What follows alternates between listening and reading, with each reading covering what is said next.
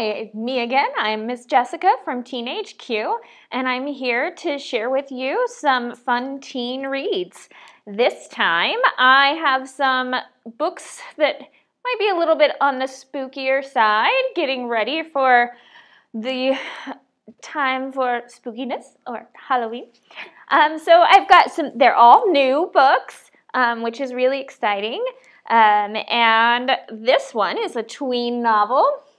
It is called Disney Chills. It's the Disney Chills series. And this one is part of your nightmare. Um, so this is about a girl who um, she runs into a, a villain that you might know from The Little Mermaids. She runs into Ursula um, after she has joined the brand new swim team. So um, if you are a fan of The Little Mermaid, this would be a good one for you. Or if you just want to uh, try out a new Disney related novel. All right, next I have, for those of you who love the game, Five Nights at Freddy's, they have a new series coming out, and this one is Fazbear's Frights. Um, so this um, one is where Scott Cawthon, who's the author of all of the Five Nights at Freddy's books, um, he tells um, some short stories in the Fazbear world. Um, and it's definitely a little bit unsettling, especially if you know anything about Five Nights at Freddy's. Whole thing, just a little unsettling. So, another spooky read for you. Now, if you're a little more like me, then you are going to be looking for some witchy tales this Halloween time. Um, so this is Bewitch, which just made me really happy.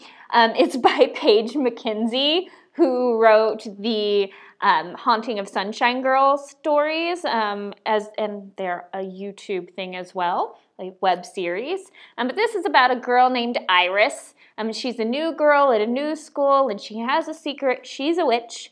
Um, and she actually meets another coven of witches who take her under their wing. But of course, there is a rival coven of witches who do bad things. They like to mess with people's relationships and um, they mess with the kind of black magic. So this is the two covens um, against each other, but then there's, of course, a mysterious thing that happens, and there is a dead witch. Um, so they have to do some investigating. Exciting time. All right, and last but not least, if you are also like me, but you like a little bit of murder in your books, um, this is about a guy named Matt and another guy named Jason, um, and their families are part of feuding, um, basically like mafia gangs, and they um, are caught up in this feud, and but they become friends instead, of course. Um, so they, it's a very Romeo and Juliet kind of book, um, and you'll just have to read it to find out why. And that's all I've got for you today, some spooky teen reads. Make sure to check out more of those on our website, www.greenwoodlibrary.us. And you can also find all of our programs and events there and register for all of those too. So that's it for today. Thanks, guys. Bye.